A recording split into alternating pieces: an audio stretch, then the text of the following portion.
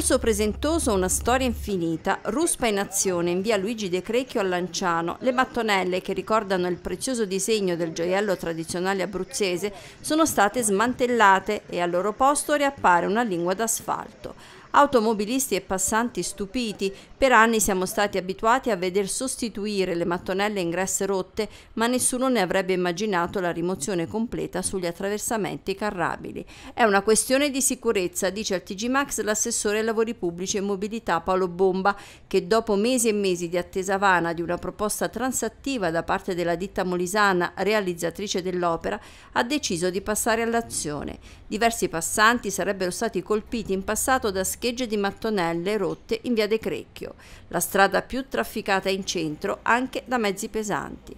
Per ora, precisa l'assessore al TG Max, via Dalmazia non subirà lo stesso intervento e neppure Viale delle Rose, l'ultimo tratto riaperto al traffico dopo la posa della nuova pavimentazione, ma già traballante come diverse zone dell'area pedonale.